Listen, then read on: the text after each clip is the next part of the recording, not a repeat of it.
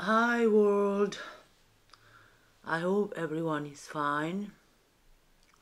Today is uh, 17th of December, Sunday.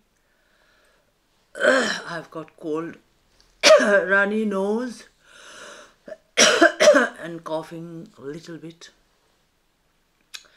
Anyway, I have a subscriber called Koliga or something uh, and he uh, asked if I could make a vlog on how I uh, ended up here in Sweden.